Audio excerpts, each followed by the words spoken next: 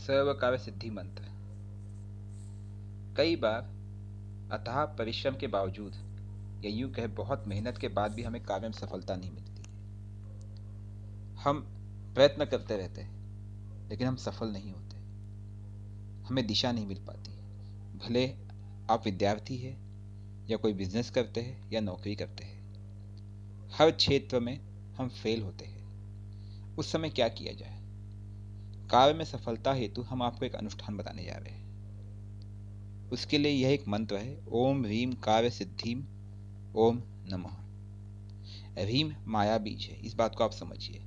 तो इसके साथ आप माँ भगवत काली या माँ चामुंडा या माँ दुर्गा का जप करें तो लाभप्रिय रहेगा। इस मंत्र का अनुष्ठान आप किसी भी अमावस्या पूर्णिमा को आरंभ करें।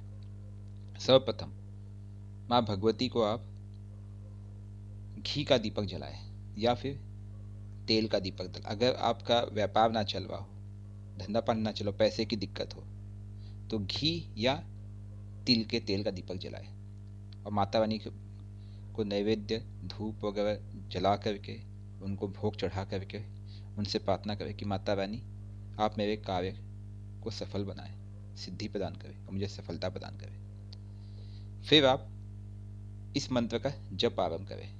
दीपक जलने के पश्चात आप इस मंत्र की दस माला जप करें प्रथम दिन इसके साथ साथ नवाण मंत्र या माँ काली के मूल मंत्र की कम से कम एक माला आगे और पीछे कर ले। अर्थात पहले एक मंत्र, मूल मंत्र की आपकी काली, माँ भगवत काली की या नवाण मंत्र की या माँ दुर्गा के मंत्र की। उसके बाद दस माला इस मंत्र सर्वकार्य सिद्धि मंत्र की, फिर वापस एक माला।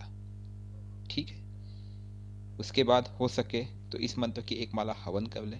इससे माता रानी जल्दी आपके कार्य को सफल बनाएँगी। रोज इस मंत्र की एक माला जप करते रहे और अमावस्या और पूर्णिमा के दिन, हर पंद्रह दिन में इसको दस माला जप करें और एक माला हवन। आप देखिए आपके सभी कार्य बनने लगेंगे। यह प्रयोग वैसे तो छः महीने का है, लगातार।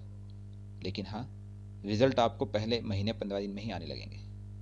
अगर आप रोज एक माला पढ़ते हैं जप करते हैं और अमावस्या और दस, दश, अमावस्या और पूर्णिमा के दिन दस माला जप और एक माला हवन तो आपके सभी कार्य बनने लगेंगे और आपको सफलता प्राप्त होगी।